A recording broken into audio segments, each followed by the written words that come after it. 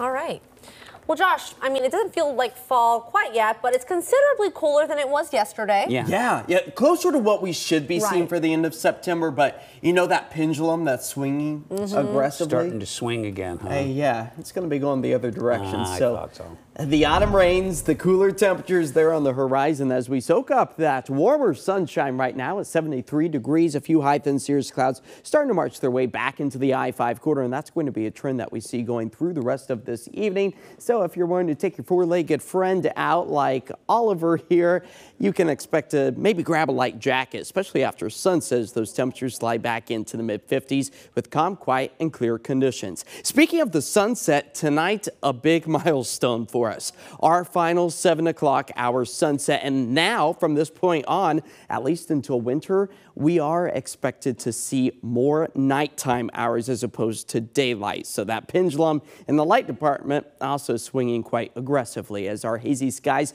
are that of distant memory as the clear conditions still remain up and down the I-5 corridor. And you can see all of that wildfire smoke still remaining its way further off to the east. That's going to be the case through the end of the week and really even into the start of next week. But that does not mean that our fire threat is completely washed away. A red flag warning still remains in place through 11 o'clock this evening. Gusty winds nearing about 35 miles per hour with relatively low humidity values thanks to that onshore flow creating downsloping winds for our friends to the east, keeping that fire potential elevated. As our wind gusts are relatively calm through the Portland Vancouver area, but you can see those easterly winds starting to get funneled through the Columbia River Gorge with Hood River experiencing wind speeds at about 30 miles per hour right now.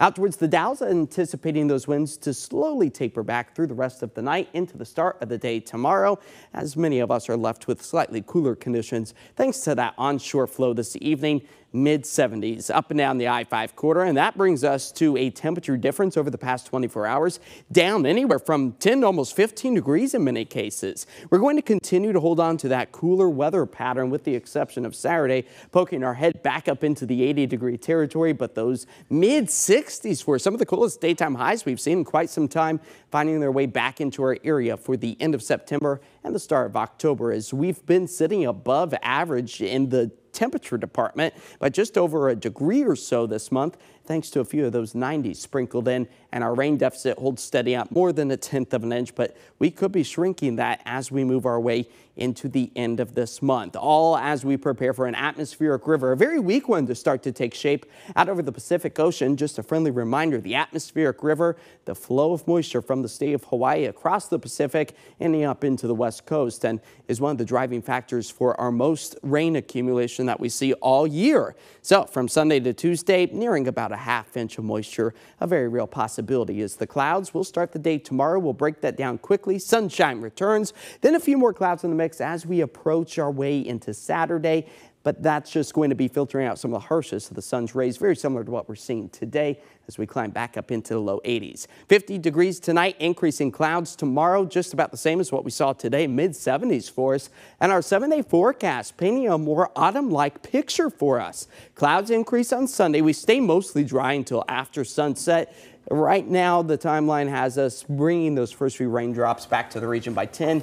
11 o'clock in the evening, ramping up Monday, October 1st on Wednesday, a high of only 66, and it will be rainy at times. So Mother Nature says summer's done, autumn is officially here. Yeah, this is right. the time of year we start to see those daytime We do. temperatures now start to cool down. Yeah. Finally falling into place. I'll keep my thoughts to myself. Thank you. we'll be right back.